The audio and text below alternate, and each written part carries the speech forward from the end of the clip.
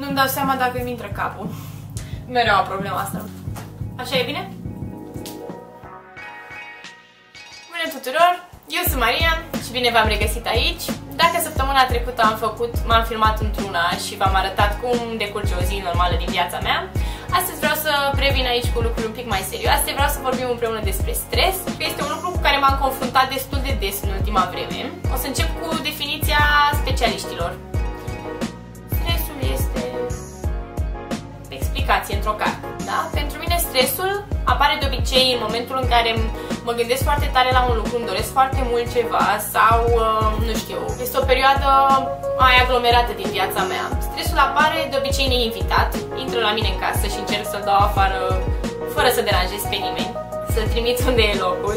Spun lucrul ăsta pentru că sunt momente în care, din păcate, mă vărs pe cei din jurul meu. Pe prieten, pe iubit, pe copil uneori, pe, pe cine prind. Vreau să trecem la niște trucuri pe care le-am învățat singurică. Uh, spre exemplu, iau o situație care mi se întâmplă destul de des, legată de Anais. Îmi petrec foarte mult timp cu ea și la un moment dat poate deveni obositoare pentru că e mică și are foarte multă energie, iar eu nu am fost pusă în temă cu faptul că o să facă un an jumate, doi ani și o să alerge ca un titirez prin casă, n-am avut timp să mă pregătesc, așadar, spontan, a apărut și la mine stresul. Din chestia asta m-am gândit foarte tare. Ori o să țip la ea și o să o supăr sau o să învăț nervii pe ea, ori fac o introspecție și o să mă gândesc așa, de la 1 la 10 cât de stresată sunt. Când ajungeam la 7-8, luam o pauză, mă duceam într-o cameră separată, mă gândeam un pic, hei, de ce te-ai enervat? Ce a făcut așa de enervant? Care a fost faza? Uh, la la la, treci peste, stăteam așa 5 minute, încercam să mă relaxez ca să nu fiu ea nevoită să-mi suporte, suporte mie toane. Sau dacă era Vlad în preajmă, îi spuneam Vlad, te rog, iau, am ajuns la 8, la 9, la 10, ieșeam afară, luam o gură de aer proaspăt, cum spuneam, uh, unul dintre trucuri este acel time-out pe care ți-l iei, pe care îl folosești pentru a te detensiona, pentru a te detașa de situație și pentru a încerca să privești lucrurile un pic obiectiv. Ok, ăsta este un alt uh, subiect sensibil pe care o să dezbatem un pic mai târziu. Acum vreau să vă spun de ce nu e bine să ne stresăm. Da, cu toții știți că nu e bine să vă stresați și totuși ajungeți să o faceți, exact ca și mine și am observat că am somnul un pic mai neliniștit sau că mă trezesc dimineața fără poftă de viață sau că uh, mi-au apărut două, trei fire albe, da, am și fire albe, doamne, am 22 de ani, micuța domnului. Când uh, auzeam pe mama cu chestia asta, am scos fire albe, măi, fetițo! Nu înțelegeam exact ce înseamnă, dar acum o trăiesc pe pielea mea. Așa, nu e bine să ne stresăm pentru că nu vedem cum sunt lucrurile de fapt, nu putem să le privim obiectiv. Fizic ne scade starea de sănătate, ne ajunge la un nivel pe care eu una îl detest, să fiu leneșă sau trântoriță sau să n-am chef de ceva, pentru că cu o zi înainte am fost stresată și n-am reușit să scap de chestia asta. Pentru că stresul este la fel ca și râsul, molipsitor. Da, cum e atunci când intri într-o cameră bine dispus, zâmbești și mă lipsești pe toată lumea cu chestia asta. Este o boală de care aș vrea să sufere cât mai mulți oameni din jurul meu. Dar, la fel ca și stresul, uh, este ca un, nu știu, să vă explic, un efect de domino eu mă enervez, țip la tine, te enervezi și tu, ăsta țipă la el, se duce în trafic, se înjură cu X sau Y, adică sunt multe lucruri care merg așa, mână în mână și care, nu știu, poate ar trebui să le preveniți, dacă vă pasă de cei din jurul vostru, dacă nu vă pasă, stresați-vă oameni buni. Ajungem să ne certăm cu cei dragi pe lucruri de nimic, care de fapt n-au nicio relevanță și care nu reflectă motive reale. De asta e foarte bine să privim înăuntru nostru, să avem anumite self-talk-uri de asta noi cu noi, în care, băi, Poți să spui foarte ușor, am nevoie de o pauză, știi? Am nevoie de o pauză de la tot. Așadar, ajungem la partea mea preferată din clipul acesta, cum combatem stresul. Nu știu la voi cum funcționează, dar la mine e tot așa pe imaginație. Îmi imaginez o bulă albastră și una roșie. Bula roșie reprezintă emoțiile și bula albastră gândirea. Emoții contra gândire. Să vă dau un exemplu în trafic te întâlnești cu unul care țipă, te înjură, te face cu toate alea, că ai făcut o mică greșeală, ai ridicat și mâna să-ți ceri scuze, dar el nu vede chestia asta, e setat pe tine și te înjură și te... Oh, ok, da. Și și zici, băi, uite pe ăștia ce stresant sunt, ce stresat. Eram în parcare la AFI și l-am văzut pe un tip care m-a înjurat, bă, dar m-a înjurat un sfert de oră în continuu, nu știu. Era foarte blocată parcarea, foarte mega blocată, toate mașinile stăteau și asta a ajuns în dreptul meu pentru că n-am putut să mă dau în spate, s-a gândit să mă înjure. Și dacă nu m-a înjurat omul, cred că avea un vocabular atât de dezvoltat, îi mergea mintea brici la înjurături și îl vedeam cum înjură și și erau două geamuri între noi, nu e ca și cum el voia ca eu să-l aud, pur și simplu voia să descarce pe mine. Atunci mi-am dat seama că el funcționează pe partea de emoții. Nu gândește, înjură și îl lasă așa. Ce puteam să fac? Să mă iau la înjurături cu el, să acționez și eu tot emoțional și să ne înjurăm unii pe alții până nu mai putem și după să ne pară rău pentru chestia asta sau să efectiv să rămânem încărcați negativ sau să gândesc că omul are o problemă, că a avut o zi grea să zâmbesc un pic la el să-mi dau seama, zic, bre, dar de ce mă juri? Stai în banca ta, lasă-mă în pace, sau să limit, că în, în momentul ăla l-am imitat. Și mi-am dat seama că le enervez și mai tare. M-am oprit și am zis, du-te cu Dumnezeu și aia e. Și ca să înțelege situația, în spatele lui era o mașină și au început și tipii de mașină să râdă, băie, deci nu le venea să creadă că omul se setase, se setase pe mine și eu nu aveam nicio vină, nu făcusem nimica.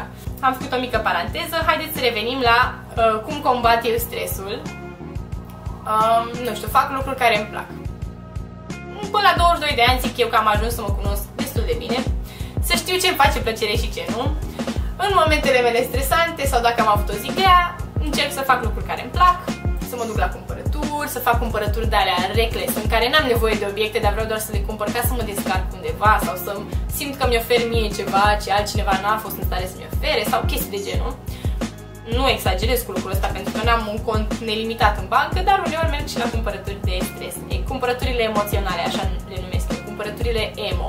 Îmi place să ies în club cu fetele, să dansez un pic, să mă detensionez, îmi place să ascult muzica tare, sau să citesc o carte, să beau un ceai, să merg la sală, să fac sport. Da, încep să fac asta zilnic în ultima vreme, pentru că am observat, pe lângă faptul că mi eliberez tensiunile și că face foarte bine pentru corp, uh, mă simt eu mai bine cu stima de sine, pentru faptul că, mm, nu știu, mi-acord timp și fac lucruri pe care nimeni altcineva nu le-ar face pentru mine, lucruri de care eu sunt responsabilă și lucruri uh, care mă pun pe mine acolo, în centrul atenției mele, știți? Sunt momente în care, eu nu știu, o mămică, spre exemplu, are nevoie de chestii de genul, ca și mersul la salon de altfel. Sunt momente în care efectiv vrei să simți că ți acorzi atenția aia de care ai nevoie. Îmi place foarte tare să mm, fac o mică plimbare, pentru că nu mai am timp foarte mult de chestia asta.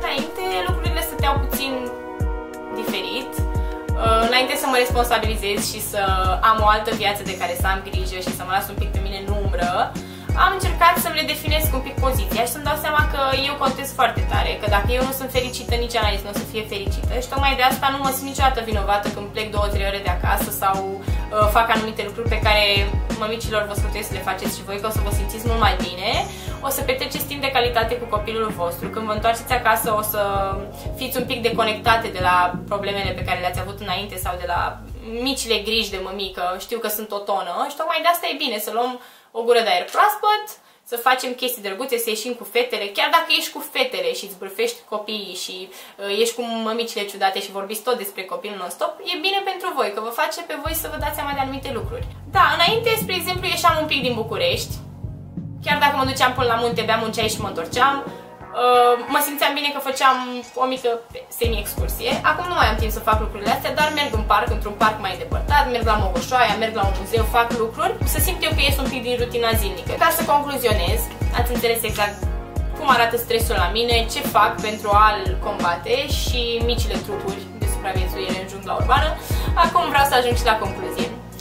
Da, toată lumea e bună la teorie și eu sunt bună la teorie. Hai să începem să le punem în practică, să scriem cântecele de iubire și de dragoste și de Don't worry, be happy sau de cum să fim fericiți non-stop, să fim zen. Eu n-am cum să fiu zen chill non-stop și tocmai de asta, tocmai de asta, uh, vreau să vă dau ultimul sfat al zilei. Mm. Mai țineți minte când erați copii și nu aveați nicio grijă? Și vă doreați să fiți mari? Da. Mai ții minte, Maria, când uh, erai la facultate și te stresai cu anumite chestii pentru care chiar nu aveai de ce să-ți faci griji? Da, asta este o discuție cu mine. Mai ții minte, Maria, când în liceu sau la BAC te dădeai peste cap și învățai foarte mult și asta ți se părea stresant? Da. Da, era foarte stresant. pe vremea aia. Dacă aș fi avut un short preview a ceea ce urma să vină peste 2-3 ani, mi-aș fi dat seama că trebuie să trăiesc intens fiecare clipă de învățat care mi se părea grea și așa mai departe și să-mi dau seama că, bă, aia nu e nimic, ăla nu-i stres, aia e o chestie prin care treci pentru prima oară și ai impresia că e grea, dar nu e dificilă, e, e știi, this is life. Sunt etapele vieții pe care trebuie să le îmbrățișăm cu totul, să ne dăm seama că trec, chiar dacă ni se par grele și efectiv să le luăm ca atare, să nu ne stresăm, să le vedem cum sunt de fapt. Pentru că eu, dacă pot să vă dau un sfat, este bucurați-vă, fraților. Bucurați-vă de tot ceea ce aveți, de lucrurile prin care treceți, pentru că nu o să vă mai întâlniți acolo, nu o să dați bacul a doua oară, bine, cu mici excepții, nu o să faceți facultatea din nou, nu o să aveți primul interviu sau primul job sau uh, ore de muncă pentru totdeauna, o să aveți chestii pe care le-ați făcut bine sau nu. Și cum faci un lucru bine dacă nu implicându-te pozitiv responsabilitățile vin pe parcurs. Uh, dacă acum avem impresia că este ceva dificil, cu siguranță ne încelăm, vor să vină vremuri și mai grele. Am dat de responsabilități, de viața de părinte, de stau singură în casă, îmi plătesc singură facturi, îmi fac singură cumpărături, nu-mi aruncă nimeni mâncarea care se strică din frigider, eu trebuie să o fac, nu, eu, nu știu, nu face nimeni nimic pentru mine, fac eu lucrurile astea și tocmai de asta, acum, apreciez cu adevărat momentele de libertate și momentele în care chiar fac ceva pentru mine. Și sfatul meu este bucurați-vă, faceți lucrurile bine și nu vă mai stresați din orice, pentru că mm, life short, life's beautiful și tot felul de clișee, alte clișee pe care pot să vi le zic un milion o tonă, le găsim motivațional pe internet, uh, postăm în fiecare zi poze pe Facebook, dar cu adevărat trebuie să intrăm într-o zonă free stress zone, adică fără stres. Cam asta a fost, dragilor. Mm, dacă v-a plăcut, dați-mi un like, un subscribe, uh, vă las mai jos linkul în descriere de la Instagram dacă vreți să-mi urmăriți activitatea pe Instagram, mai pun niște story-uri cu Anaïs, unde puteți să o vedeți mai mult. Uh, pe blog puteți să citiți articolele, am dat câteva uh, interviuri de mămică, acolo am mai povestit chestii pe care le-am făcut în calitate de mămică, dar și uh, alte chestiuțe. De mult, acum n-am mai făcut-o de ceva vreme, chiar n-am mai făcut-o, dar o să am timp, promit, și o să mai postez și pe blog. Uh, până un alta, ne revedem aici curând, vreau să lăsați câteva comentarii în descriere și să-mi spuneți exact ce ați vrea să vedeți de la mine. Vreau să fac și lucruri utile pentru voi și soarele. Mă, uite ce frumos e viața. Sper că v-a plăcut clipul meu despre stres. Nu vă stresați.